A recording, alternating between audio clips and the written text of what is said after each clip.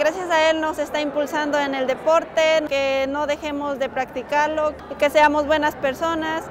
y le quiero agradecer por eso, por alentarnos al, deporte y dejar un gran ejemplo para las siguientes generaciones.